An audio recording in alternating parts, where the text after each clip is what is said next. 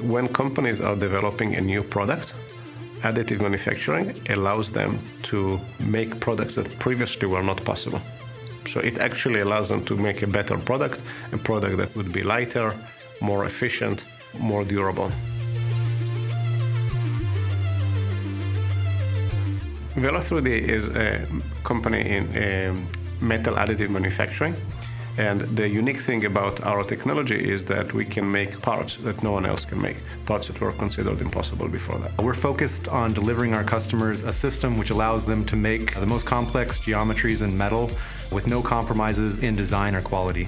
Our product is really the capability of manufacturing these very difficult parts. It's not the printer, it's not the software, it's this end capability. At its most basic level, our process is a welding process. You can take two-dimensional slices of the part and on a layer by layer basis, weld those until you have the full three-dimensional stack that makes up the final part geometry.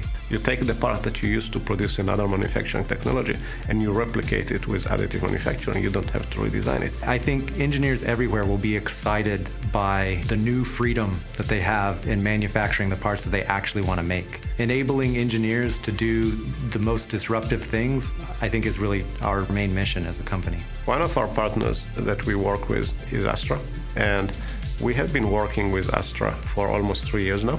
Astra is a launch and space services company, and we provide services to companies that want to launch satellites into low Earth orbit. We've been able to work really closely with Velo's engineering teams to create print files that we can then use contract manufacturers that have their printers installed so that we can have consistent results. And at the end of the day, we're going to get the same quality of parts, uh, no matter which of their contract manufacturers we work with. We were very committed to the end game.